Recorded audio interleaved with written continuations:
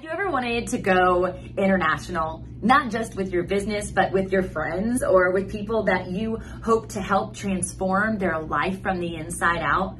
How about having a business write off for your international travel? That's always amazing, but the heartbeat behind what it is that we do when we create international retreats, or they don't have to be international, they can be right in the backyard. I did that as well is so transformative. The connection, the intimacy, everything that happens in these experiences is truly a godsend. It's truly a miracle in the making. It's one of those things exceedingly abundantly beyond what you could hope for or imagine because you're doing something pretty risky. You're taking someone and plucking them out of their comfort zone, out of their regular routine, out of their own home, out of their own headspace, and you're planting them pluck to plant, right? You're planting them somewhere they're not familiar. Maybe they've been there before, but there is nothing like traveling with people, especially traveling with strangers. So be prepared. Know that if you are not a host, a natural born connector, if you're not somebody who's willing to like take inventory of emotion, to take inventory of the things that somebody needs intimately, to be able to take a step back because this is not a vacation for you, just to